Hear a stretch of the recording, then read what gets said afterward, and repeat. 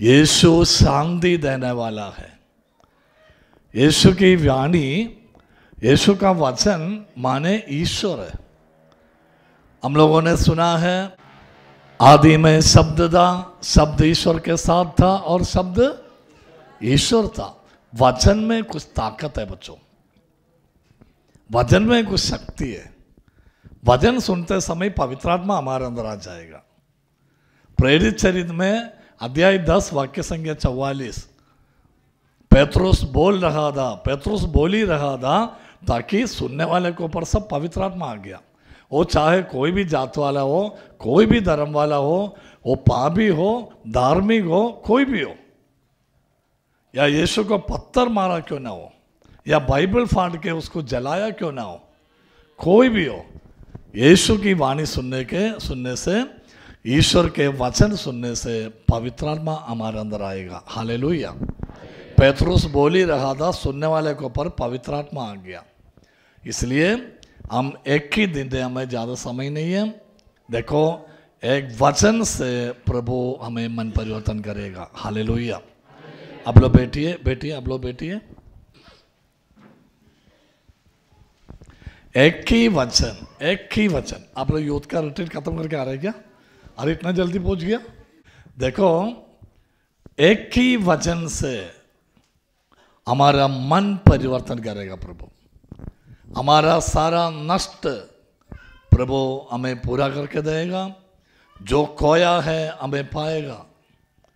एक ही वचन। ये सारा दुनिया प्रभु ने वचन से बनाया है, वचन से। पहला कुछ भी नहीं था ये धरती में। ना आकाश, ना पृथ्वी, ना दरिया, समुद्र, ना पहाड़, ना जानवर, ना ना मनुष्य, कुछ भी नहीं था। लेकिन प्रभु ने अपने इकलौते पुत्र और पवित्र आत्मा से मिलकर ये धरती में सब कुछ बना दिया अपने वज़न से, अपने शब्द से। सही है कि नहीं? हले लुया हाले वचन में इतना ताकत है। यही नहीं समझना आज एक ही दिन है यहाँ पे, ज़्यादा समय नहीं है। एक ही दिन में, एक ही दिवस में मैं तुम्हारा सारा अभिशाप को तुमसे मैं दूर करेगा। इसलिए भाई बहनों, हम यहाँ बैठ के खाली सिर्फ़ सुनना है।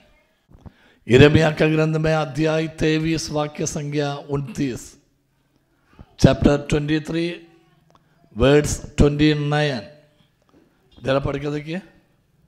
इरमिया का ग्रंथ में अध्याय तेईस वाक्य संज्ञा उनतीस twenty three twenty nine Jeremiah twenty three twenty nine पढ़िए मेरी वाणी अग्नि जैसी है और मेरी वाणी चट्टान को टुकड़ा टुकड़ा करने वाला हथौड़ा जैसा है चट्टान का कैसा चट्टान को कैसा टुकड़ा करता है हथौड़ा से बहुत बड़ा बड़ा हथौड़ा जैसा। बोलो बोलो पढ़ो। मेरी वाणी अग्नि जैसी है। मेरी वाणी अग्नि जैसी है। इधर आइए कटिश जी इधर आइए। इधर माइक में पढ़िए जरा। नहीं। मेरे वाणी अग्नि जैसी है। मेरी वाणी अग्नि जैसी है। मेरा वचन आग की तरह आग जला डालूँगा। जो गंदगी हमारे ऊपर है सब जला डालूँगा यही वाणी से। मेरी वाणी अग्नि जैसी है। और आगे? वह उस हथौड़े की तरह है जो चट्टान को टुकड़े टुकड़े कर देता है। हालेलुया। यीशु की स्तुति हो। यीशु को धन्यवाद। मेरी वाणी अग्नि जैसी है और चट्टान को टुकड़े टुकड़े करने वाला हथौड़ा जैसा है। हथौड़ा समझता है? हथौड़ा बोलता है ना? हम- लोग का भाषा से मारतुल बोलता है। हाँ मरतुल। इधर कोई मरतुल है क्या? हैमर मरतुल। मरतुल कौन सा भाषा है? आ, सादरी भाषा में मरतुल।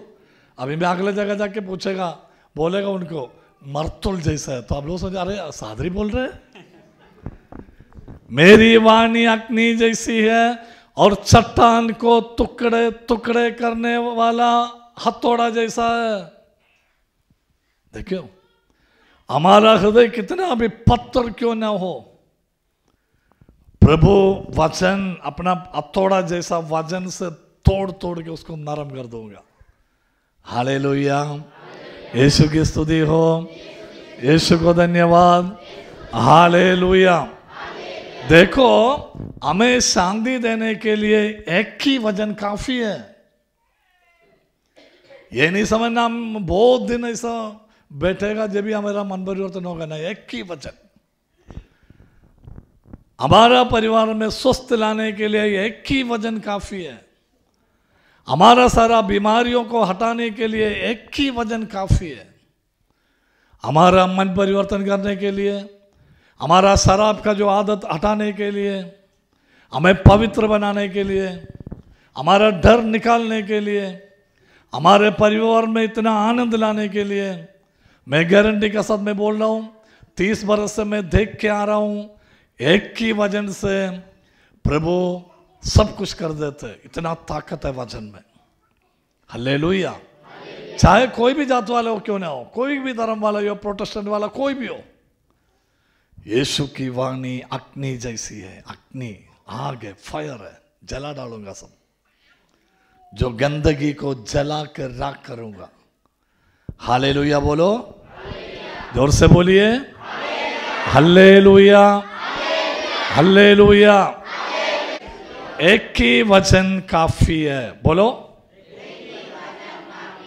और ज़ोर से बोलो। हाले लोहिया हाले लोहिया शांति देने वाला ये सुहाले लोहिया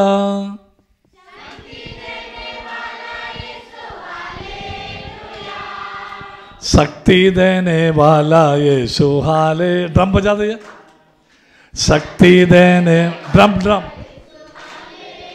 नहीं है? राजाओं का राजा ये सुहाले लोया प्रभुओं का प्रभु यीशु।